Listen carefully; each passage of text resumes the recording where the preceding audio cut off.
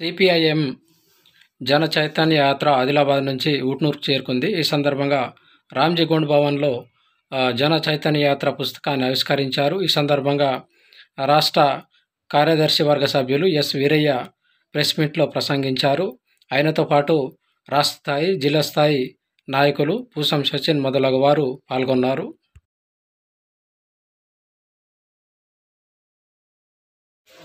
జన చైతన్య యాత్ర సిపిఐఎం ఆధ్వర్యంలో తెలంగాణ రాష్ట్రం అంతా సాగుతున్నది ఈ యాత్ర మనకు ఆదిలాబాద్లో నిన్న ఉదయం ప్రారంభమైంది. అక్కడి నుంచి నిర్మల్ పూర్తి చేసుకొని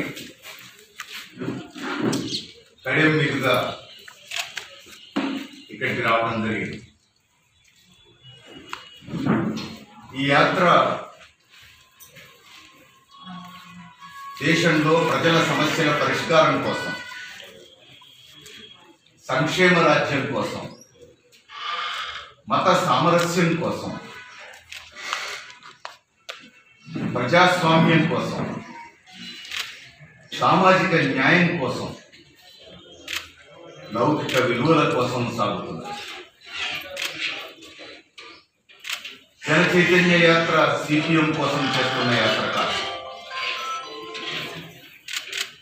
లేకపోతే ఎన్నికల యాత్ర అసలే కాదు. ఇది దేశ ప్రజల కోసం సాగిస్తున్నటువంటి యాత్ర తెలంగాణ ప్రజల కోసం సాగుతున్నటువంటి యాత్ర. ఉట్నూరుకు వచ్చి ఈరోజు మాట్లాడుతున్నాము అని అంటే ఉట్నూరు ప్రజల కోసం సాగుతున్న యాత్ర కాబట్టి ఉట్నూరుకు వచ్చి ఈరోజు ఇక్కడ మాట్లాడుతున్నాం మనందరికీ తెలిసిందే. ఇది గిరిజన ప్రాంతం. ఆదివాసీల ప్రాంతం.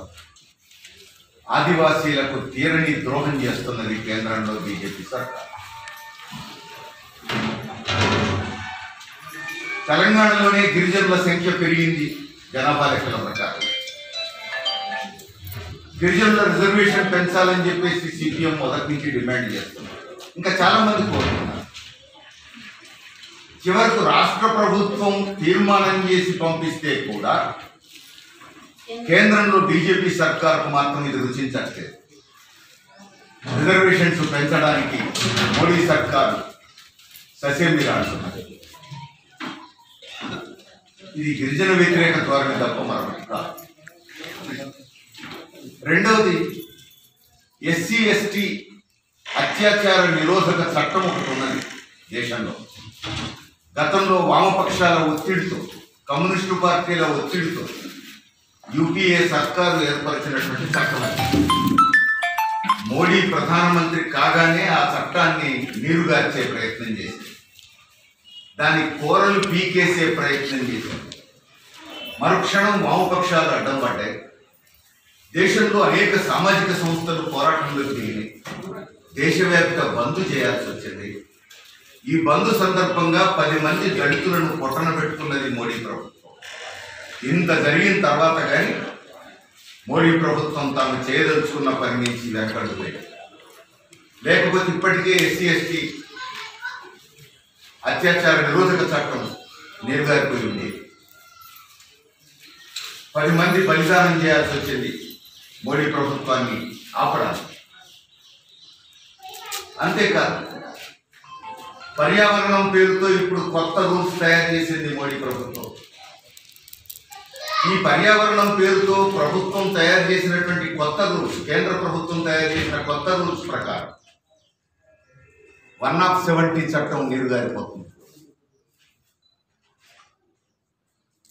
వన్ ఆఫ్ సెవెంటీ చట్టం ప్రకారం గిరిజనులకు వచ్చినటువంటి హక్కులు హరించేస్తున్నారు. గ్రామ సభలు పెట్టాల్సిన అవసరం లేదు.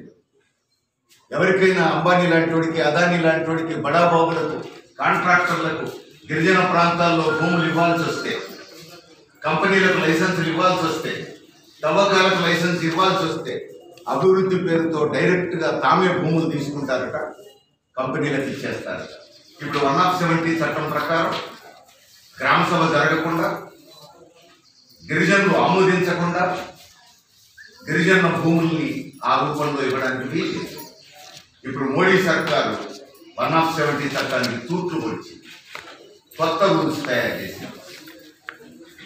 ఇప్పుడు ఈ ప్రైవేటు కాంట్రాక్టర్లు ప్రైవేటు కంపెనీల యజమానులు వచ్చి పర్యావరణం కాపాడతారు? అడవులన్నీ తవ్వుతారు. ముడిసం ముడిసరుకు అమ్ముకొని వ్యాపారం చేసి సొమ్ము చేసుకుంటారు. వెళ్ళిపోతారు. పర్యావరణాన్ని కాపాడరు అభివృద్ధి చేయరు. పర్యావరణాన్ని కాపాడగలిగింది ఎవరైనా ఉంటే అది ఆదివాసీ. అడవిని నమ్ముకొని జీవించేవాడు. అడవిని కాపాడేది వాడు. అడవి తల్లి ఉంటేనే బతుకుతాం అనుకునేటువంటి వాళ్ళు ఆదివాసీ ఇప్పుడు అట్లాంటి ఆదివాసీల పొట్టగొడుతున్నది మోడీ ఇప్పుడు గిరిజన హక్కుల చట్టం. పోటీ చేసుకుంటున్నటువంటి భూమి మీద గిరిజనులకే హక్కులు ఇవ్వాలి. ఇది కేంద్ర ప్రభుత్వం అమలు జరపవలసినటువంటి చట్టం ఇది. ఈ చట్టం అమలు జరుగుతోందా లేదా అని చూసేటువంటి బాధ్యత మోడీ ప్రభుత్వం తీసుకోవట్లేదు. ఇదే మోడీ ప్రభుత్వం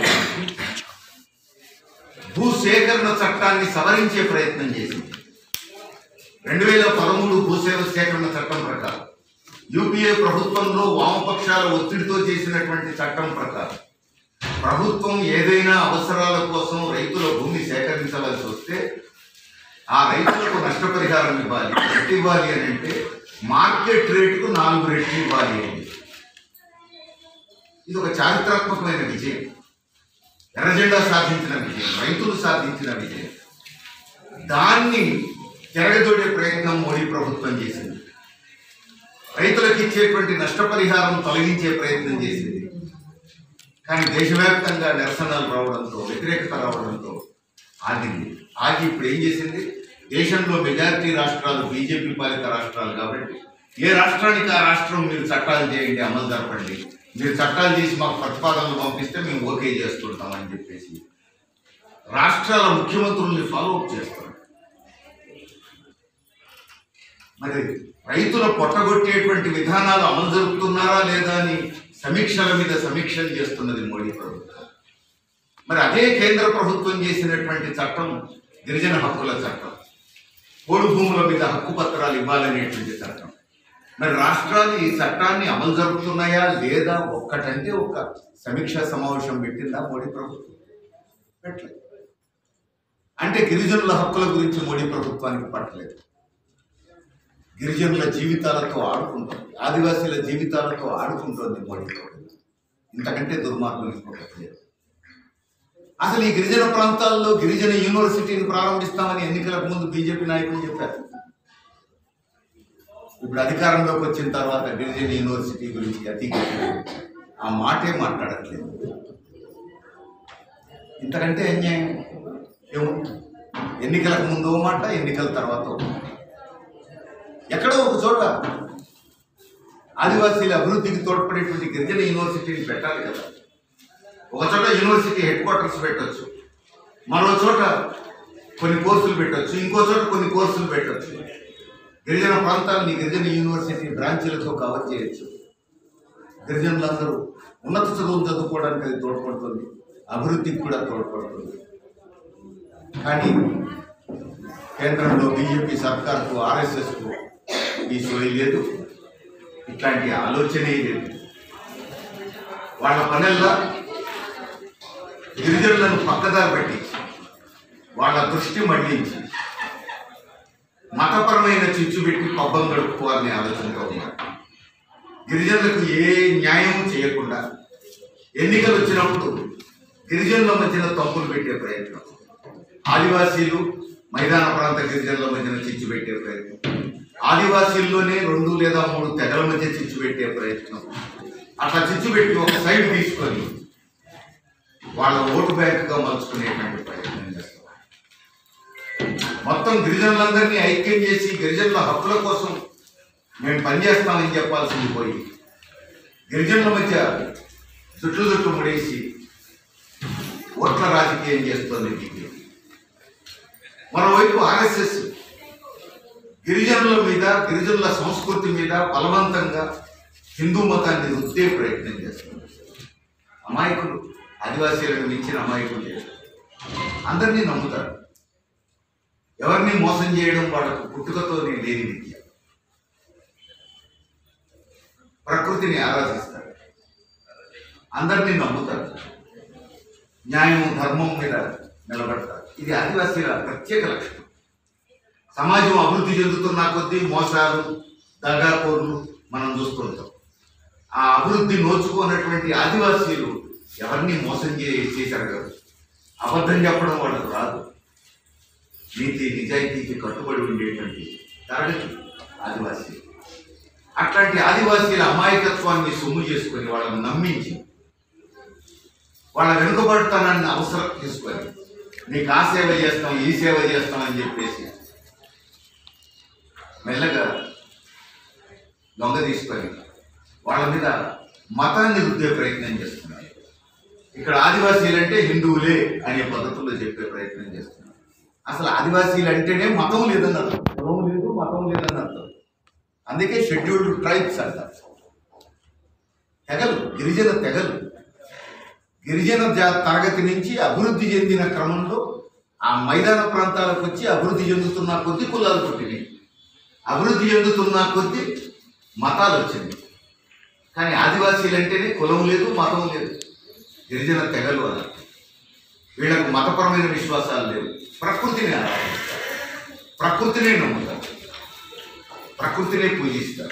ఇది ఆదివాసీ లక్షణం. వీళ్ళ మీద హిందూ మతాన్ని రుద్దే ప్రయత్నం చేస్తున్నారు. ఎందుకు రుద్దుతారు అని అంటే హిందూ మతాన్ని రుద్ది మెజారిటీ హిందువులు కాబట్టి హిందువులంతా నా వాళ్ళు అనే పేరుతో ఓట్ బ్యాంకుగా తయారు చేసుకునేటువంటి ప్రయత్నం. మనం ఈ మధ్య చూసినాం. సొరేన్ ఒక రాష్ట్రానికే ముఖ్యమంత్రి. బహిరంగంగా చెప్పాడు మేమంతా ఆదివాసీలు గిరిజనులు. మా మీద మతం వృద్ధి హక్కు ఎవడికి? మమ్మల్ని హిందువులని చెప్పేవాళ్ళు ఎవరు? మా సంప్రదాయాలు మాకున్నాయి మా సంస్కృతి మాకున్నది. మా నమ్మకాలు మాకున్నాయి మా మీద ఏ మతాన్ని రుద్దినా ఒప్పుకోమని చెప్పేసి అన్నారు. కరెక్ట్ ఆదివాసీల మీద ఏ మతాన్ని బలవంతంగా రుద్దడానికి వీలు ఆదివాసీలు అంటే ఆదివాసీలు.